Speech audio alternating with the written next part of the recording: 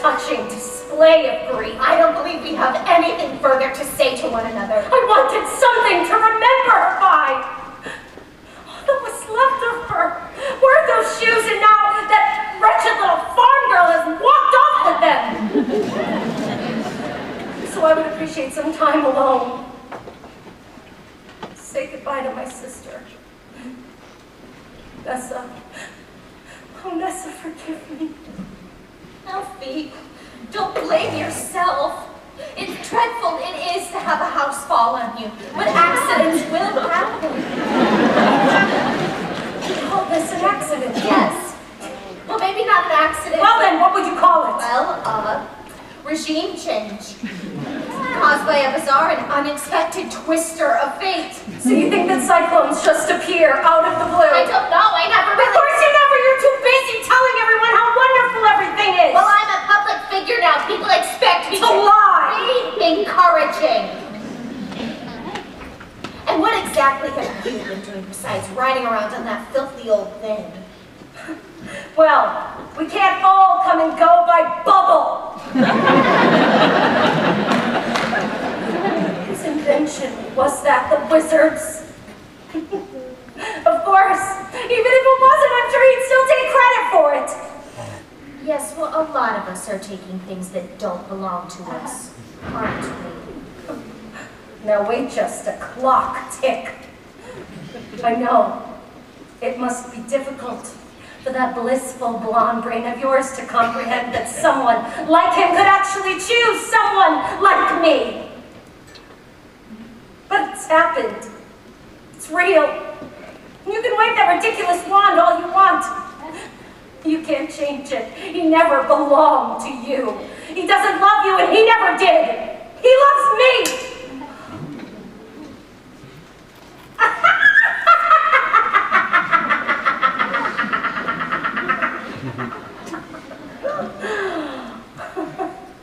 Feel better?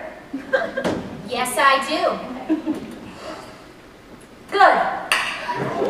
So do I.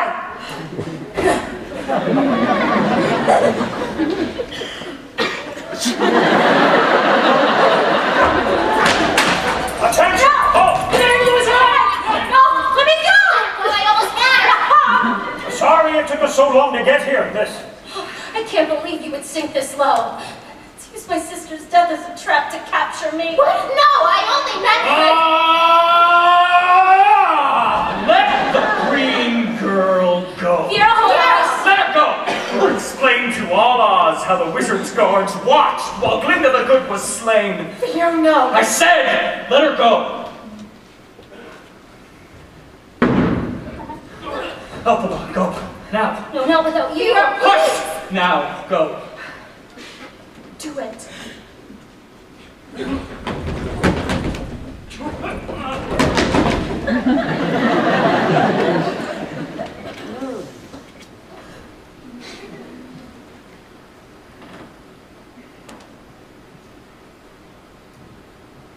Seize him! No, wait, stop! In the name of goodness, stop! Don't you see he was never going to harm me? He just... He loves her. Glinda, I'm so sorry. Take him out to that field there. No, wait! Put him up on those poles! Three tails and swear the witch wet! No, don't hurt him!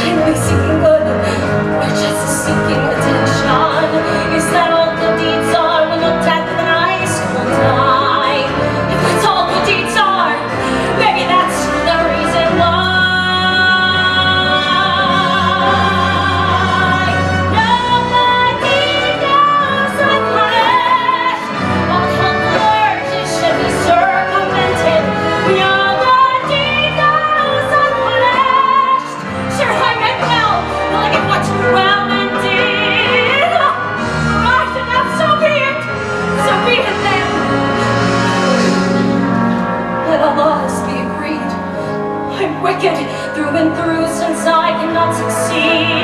The arrows saving you, I promise no good deed